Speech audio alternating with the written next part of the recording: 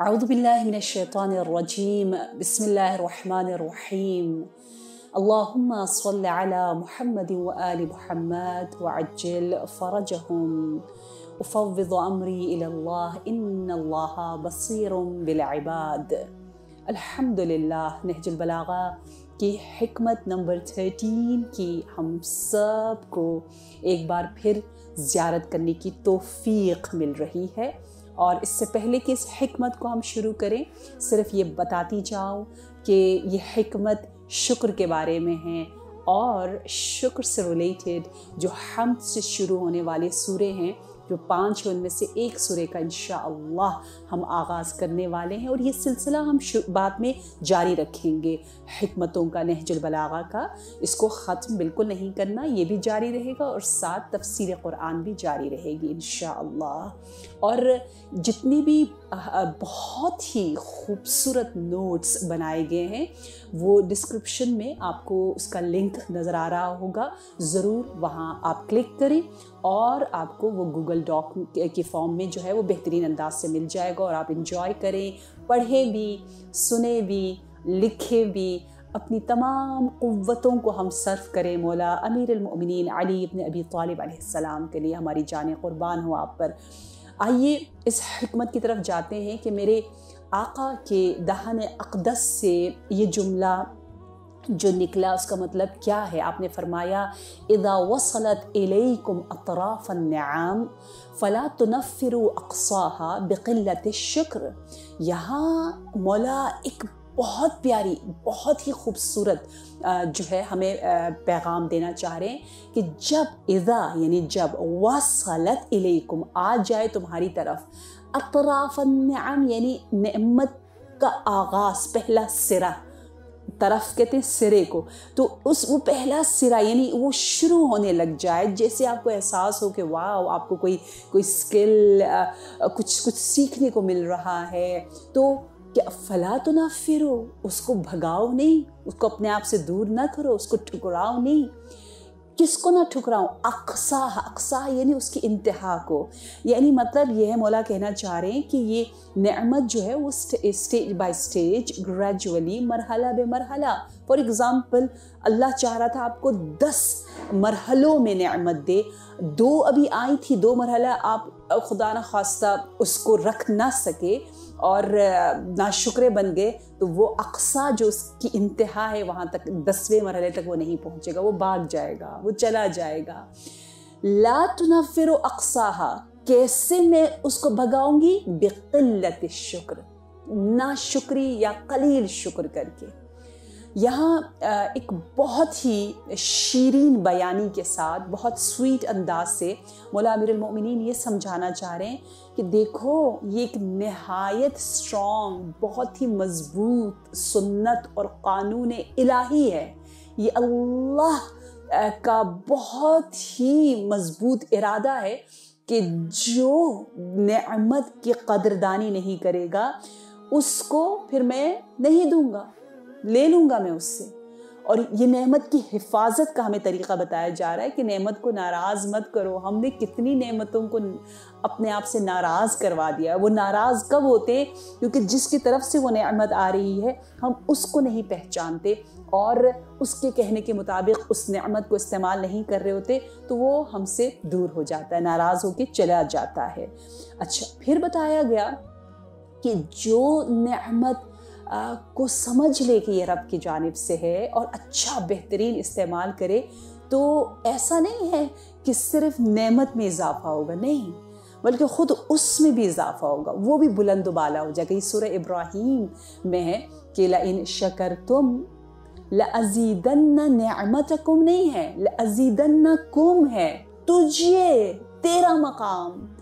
तू अल्लाह की, तेरी मारिफत बढ़ेगी। क्योंकि देखिए, आप जब नेमत के ज़रिए मुनम तक पहुँचोगे, यानी the source of this blessing you know so automatically आप अल्लाह से करीब हो जाओगे। वो नेमत आपको रब से करीब कर देगी।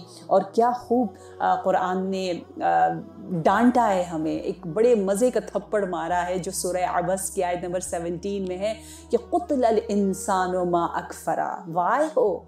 मौत हो, मर्ग हो, उस पर जो कि बहुत ही नाशुक्रा है। और देखिए वर्ड कुफ्र जो है ना कुफरान नमत यही हमें हिला देता है कि, या खुदा यू नो काफिर there are two kind of काफिर वन इन इन इज़ अकीद अकीदा अकीदे में है and one is about not knowing the source ऑफ़ द नरमा द पर्पस ऑफ़ द नरमा ये क्यों आया है, किस लिए आया है, उसको कैसे हमने इस्तेमाल करना है? अगर हमने इसका खूब अच्छी तरीके कैसे गले मिला दिया नेमत को उसका ज़बरदस्त इस्तकबाल किया।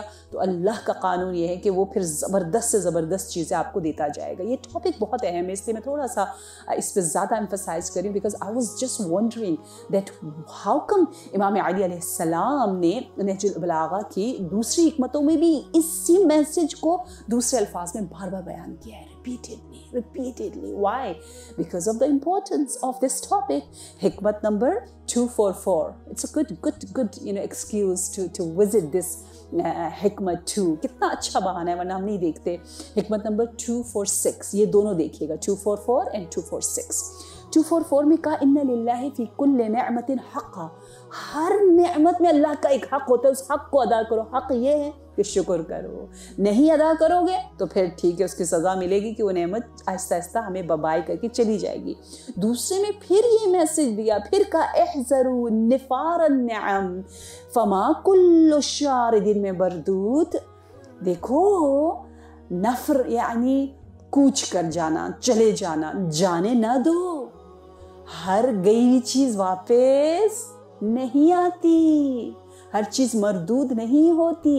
लिहाजा बहुत ख्याल रखो, बहुत ख्याल रखो। देखिए, कहते हैं एक मरतबा नबी अकरम सल्लल्लाहु अलैहि वसल्लम हमारी जान कुर्बान हो आप पर।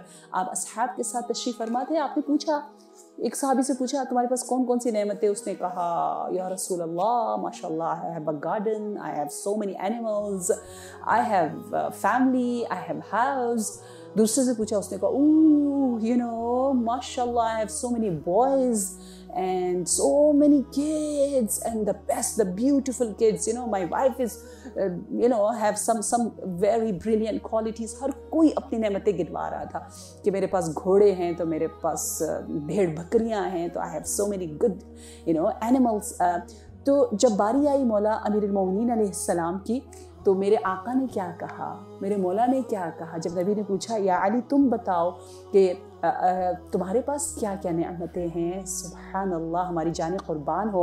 मौला ने फरमाया मजबूरा या रसूल अल्लाह मैं कुछ भी ना था, अल्लाह ने मुझे खल किया। पहला पहला जो ज़िक्र आपने नेमत का फरमाया, वो ये है मेरा वजूद। फिर कहा, अल्हम्दुलिल्लाह मुतफ़क्र अल्हम्दुलिल्लाह कि मैं सिर्फ़ एक मौजूद नहीं हूँ, बल्कि सोचने वाला मौजूद हूँ। फ़िक्र दी। फिर कहा, मुझे अपने ऊपर मुसलत बनाया। जब जैसी जैसी नमतें जिस अंदाज से मौला गिनवा रहे थे, किस डेप्थ के साथ, किस बातनी, किस रूहानी, मानवी और फ़िक्री नमतों को मेरे नबी फरमा रहे थे, सदकता या अली, ए अली तो सच कह रहा है, नेमत तो इसे कहते हैं। यहाँ तक कि मेरे मौला ने फरमाया कि ज़मीन और आसमान में जो कुछ है, अल्लाह ने वो सब कुछ हमारे लिए मुसखर किया, ये नेमत है। फिर फरमाया, अल्हम्दुलिल्लाह परवदिगार आलम ने हमें अहले ज़िक्र बनाया ज़िक्र करने की। कहा, अली, और बताओ और बताओ, इतना बताओ कि नेमतें ख़त्म हो जाएँ। क्या फरमाया मेरे मौला ने मेरे मौला ने वही मशहूर आयत पढ़ी इन ला तुहसूहा। मैं गिनता चला जाऊँगा, मेरी ज़िंदगी ख़त्म हो जाएगी, लेकिन अल्लाह की, अल्लाह ने जो मुझे नेमतें दी, वो ख़त्म नहीं होंगी। नेमतें सिर्फ़ खाने, पीना, किचन का सामान और बीवी, बच्चे और घर और गाड़ी और हुस्न और जमाल नहीं है। जब ये सुनना था तो नबी अकरम ने फरमाया हनी अनलकल हिकमा हनी अनलकल इल्म या अबल हसन अंत वारिसी व मुबैनो ले उम्मती तू मेरा वारिस है मेरे इल्म का। तू सही अंदाज से मेरी तमाम हमतों को उम्मत में तबीर बयान कर सकता है, तबलीग कर सकता है। और तुझे इल्म और हमत मुबारक हो, या अबल हसन, या अमीर सलाम। अब देखिए अफसोस के साथ हम क्या करते हैं? हम हम कितने शुक्र वाली ज़िंदगी में मुबतला होते हैं। मैं सिर्फ़ एक बहुत ही अहम पॉइंट की तरफ़ इशारा करना चाहूँगी, वो ये है कि क़ुरान में, शुक्र के बारे में एक बड़े ही डिफरेंट अंदाज से गुफ्तु हुई है। वो यूँ है कि सुर आराफ की आयत नंबर 17 में परवदिगार आलम ने कहा, मैं इस आयत को ज़रा एंड से जाऊँगी, शुरू से नहीं जाती, ठीक है? आखिर से शुरू करते हैं। आखिर में कहा, वला तजदु अक्सर हम शाकिरून। शाकिरीन, ये एक शैतानी लॉ शैतानी प्रिंसिपल शैतानी रूलिंग कानून का ज़िक्र हो रहा है कि मेरी लड़ाई ठीक ठाक फाइट इंसानों के साथ है और ये फाइट इस फाइट का, इस लड़ाई का, इस जंग का, इस दुश्मनी का एंड जो है, वो ये है कि मैं इस इंसान को शाकिर नहीं रहने दूँगा, वो ग्रेटफुल नहीं होगा, वो ग्रेटिट्यूड को एक्सप्रेस नहीं करेगा। ये है वो गोल ये है वो सही मायना में जो मकाम जो शैतान को चाहिए। ला तजिदु अक्सर हम शाकिरीन। तो मुझे इसके लिए क्या करना होगा? ये देखिए, ये क्योंकि ये मकसद बहुत सबसे ऊँची सिफत जो है वो शुक्र की उसको मुझे उसे छीनना है। तो मुझे तुम मालातियन्नहुम बैन ऐदीहिम व मिन खल्फिहिम व मिन ऐमानिहिम व मिन अन शमाइलिहिम। मुझे एक तरफ़ नहीं। दो तरफ़ नहीं, सारे डायरेक्शन से आना पड़ेगा। उसने कसम खाई है। मैं ऐसा वैसा आऊँगा कि उसको अपनी बुराइयाँ ही नज़र आती रहेंगी। बस वो यही कहेगा, अल्लाह, मेरे पास ये नहीं है, अल्लाह, मेरे पास वो नहीं है। देखिए, हम हम कितनी शिकायतें कर रहे होते हैं और कितनी हम, हमारी तो ज़्यादा होती हैं। नमतें दो तरह की होती हैं, ठीक है? एक नमत हमें डायरेक्टली अल्लाह की जानब से मिलती है और कुछ नमतें जो है वो इनडायरेक्टली मिलती है। डायरेक्टली मिल रही हैं जो खुदा ने हमें दिया। इनडायरेक्टली मसलन बाप की मोहब्बत। बाप हमसे मोहब्बत कर रहा है। वो मोहब्बत अल्लाह ने दी है। शोहर मियाँ बीवी की मोहब्बत अल्लाह की जानब से है। पर परवरदिगार आलम ने दिल में वो मोहब्बत डाली है। उसका भी शुक्र अदा करो। बहुत मस्त लोग होते हैं। बहुत चीप लोग होते, बहुत हकीर लोग होते वो लोग, जो कि शुक्र अदा नहीं करते। वासतों का, वासतों के शुक्र के बारे में भी बहुत ही अमेजिंग हदीस है। टाइम कम है मैं जल्दी से बताती जाऊँ कि यूँ बताया गया है कि क़यामत के दिन एक इंसान को जहन्नम की तरफ़ ले जाया जाएगा, ठीक है? तो वो कहेगा यार अब कैसे मुझे जहन्नम की तरफ़ ले जाया जा रहा है? वक़्त क़रातुल कुरान, जबकि मैं बहुत कुरान पढ़ा करता था।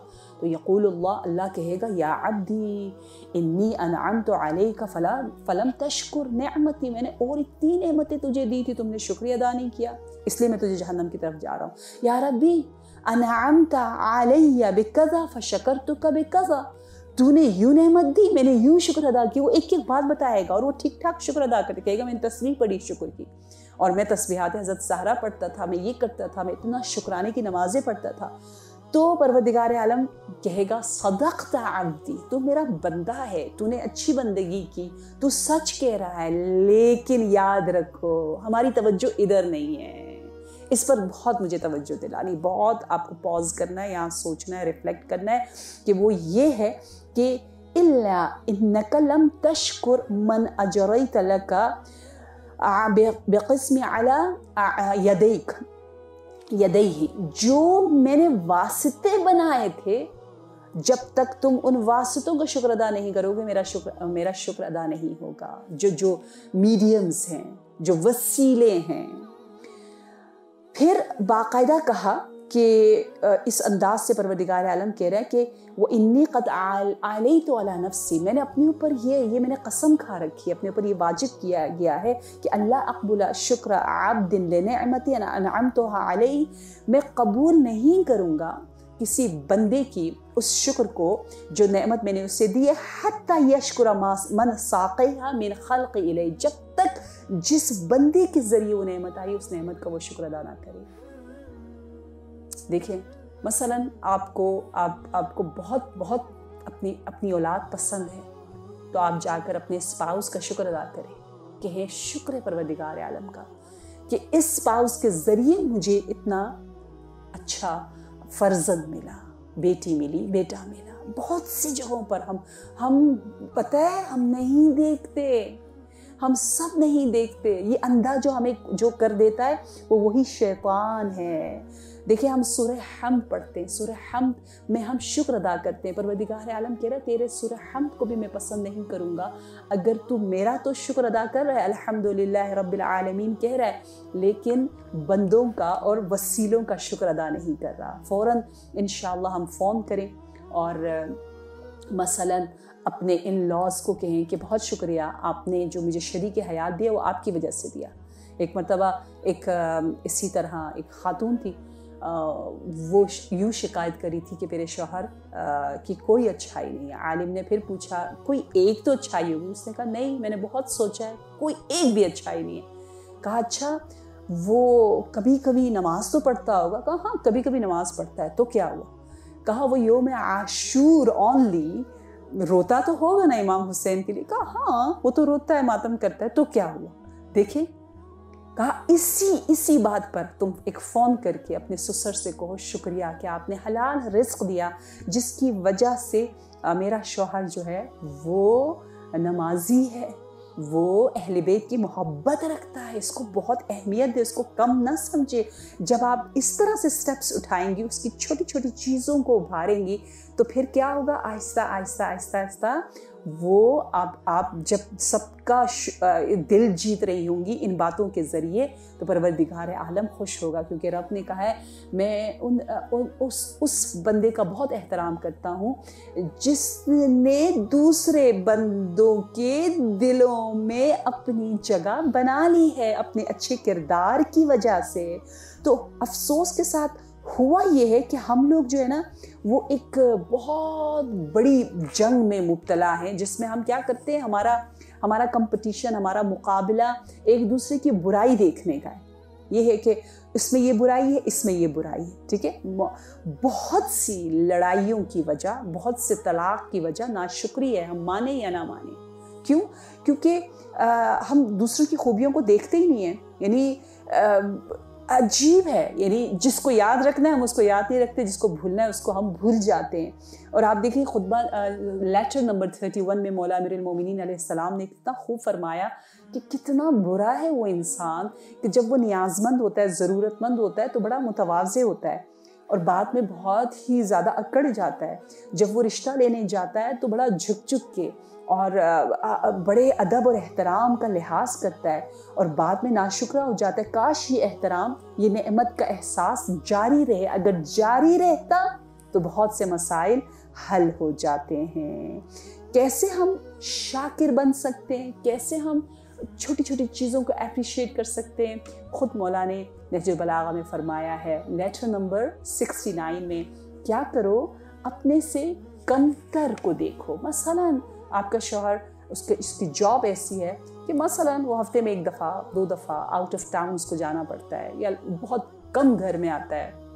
तो आपके, फलानी का तो देखे ना, कितना अच्छा है, बस पाँच छः घंटे गया, या घर से काम करता है, हमेशा घर में होता है। फॉर एग्ज़ाम्पल और मेरा तो देखें, जब देखो, जब बुलाओ, है ही नहीं, उसके पास टाइम ही नहीं है, ये शैतान डाल रहा है कि आपको वो आप उसको देखो, जिस, जिसका मसलन घर वाले जो हैं, या बाप भी कभी मसरूफ़ होते हैं, बच्चे शिकायत करते हैं, उसका बाप जो है, वो मसलन नेवी में है, क्या है, वो एक एक महीने आउट ऑफ़ टाउन होता है। वो साल में मसलन तीन दफ़ा आता है, या महीने में दो दफ़ा आता है, आपका तो हफ़्ते में एक दफ़ा मसलन नहीं आता, या कम आता है। इस तरह अगर हम सब एक तो मुकायसा करना छोड़ दें कंपैरिजन हमें नाशुक्री बना देता है, लेकिन आप ख़ुद देखें, आप अपने से गरीब, अपने से नादार के साथ रहकर जब आते हैं तो आपके अंदर शुक्र ही शुक्र के एहसास जो है, वो खिलने लग जाते हैं। और जब आप अपने से ज़्यादा के साथ बैठ कर आते हैं तो आप बहुत ही नाशुक्रे से होते हैं, आपको अपना घर सब कुछ जो है, वो बहुत ही बुरा लगने लग जाता है।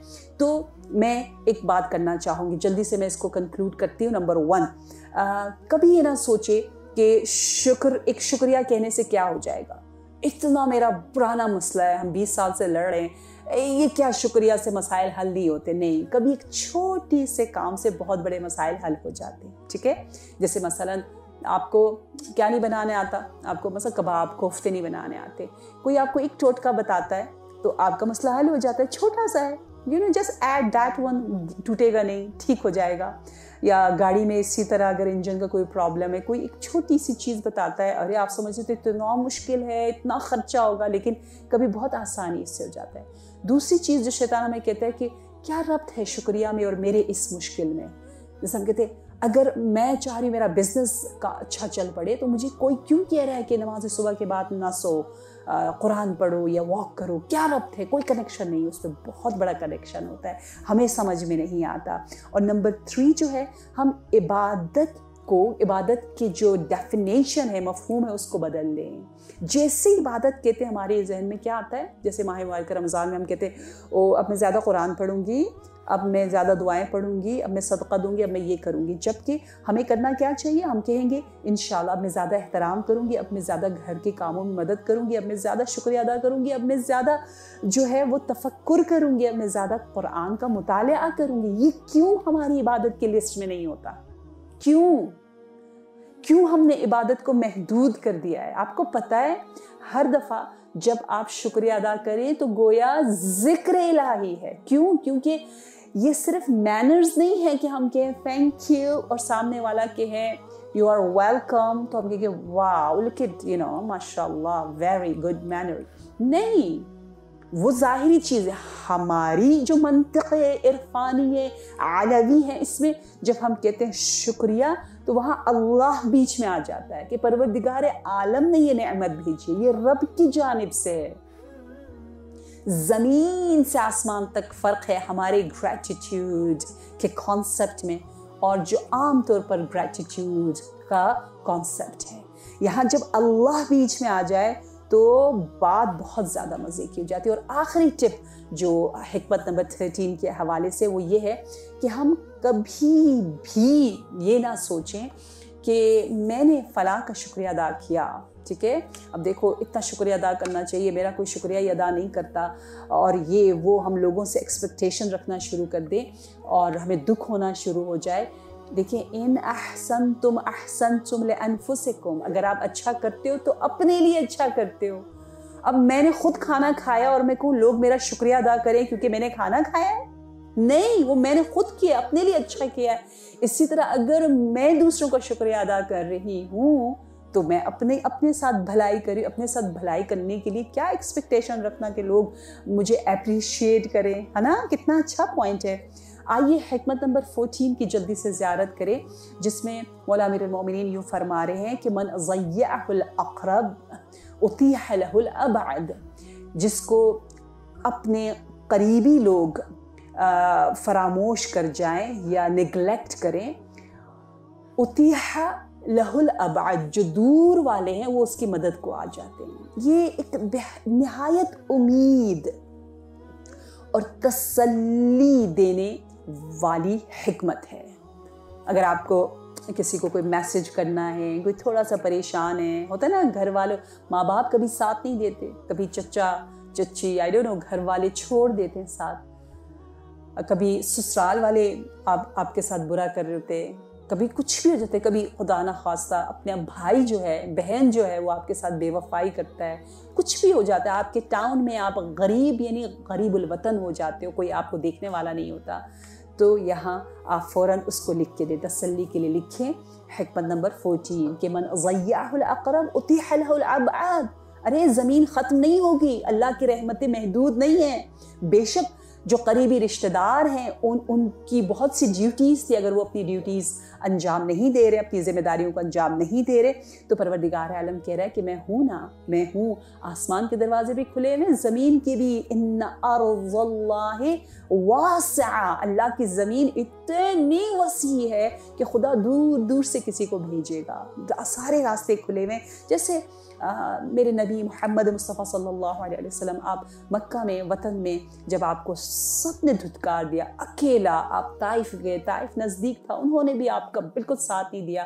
तो परवरदिगार आलम ने मदीना, बिल्कुल ही एक गैर कबीला ओसो खजरज वाले, अंसार वाले, वो जो बिल्कुल ही गैर थे, दूर थे, उनको भेजा। उनके दिलों में परवरदिगार आलम ने मोहब्बत डाल दी और मेरे नबी की क्या बेहतरीन बेहतरीन अंदाज से उन्होंने दिफा किया और ख़्याल रखा। और इमाम सादक इस्लाम की हदीस मुझे बहुत महबूब है, बहुत ज़्यादा और बहुत मज़े की है, उसमें बहुत लॉजिक है।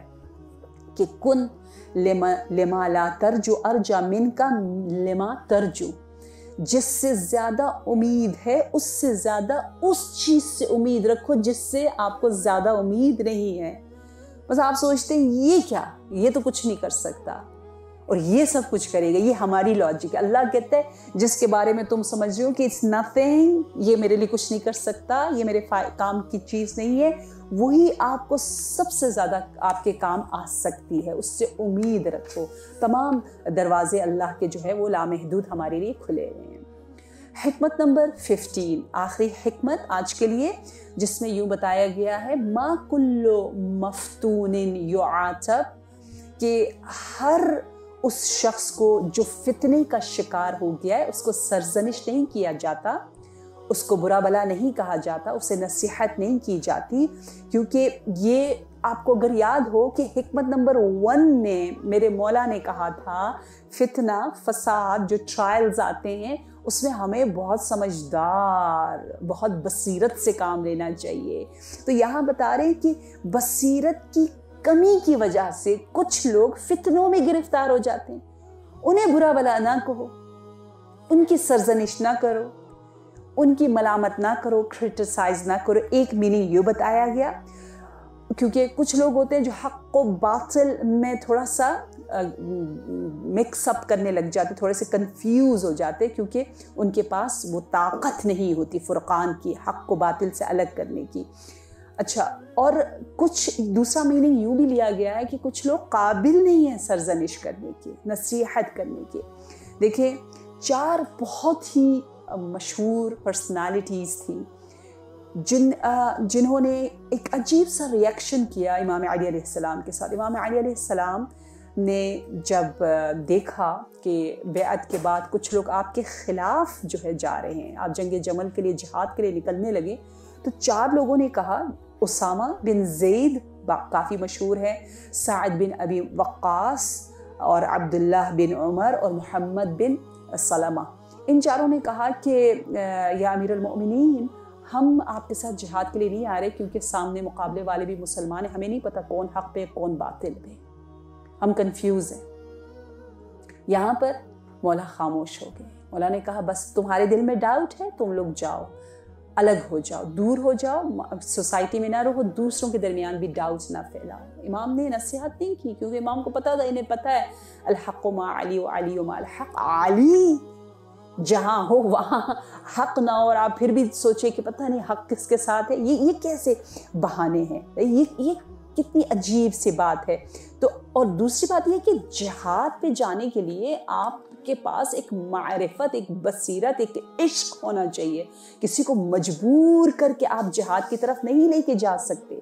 इसलिए जब मौला तशरीफ़ लाएँ, फातहाना तौर पर जंग जमल से जीत कर आप आए तो आपने इन चारों को बुलाया और लोगों से कहा, ए लोगों, देखो ये चार अफराद जो है, वो अपनी बेबसीरती की वजह से और अपने आप को जहालत में उन्होंने डाल दिया था, जिसकी वजह से उन्होंने हक की नुसरत नहीं की, हक की मदद नहीं इनका काम ठीक नहीं है।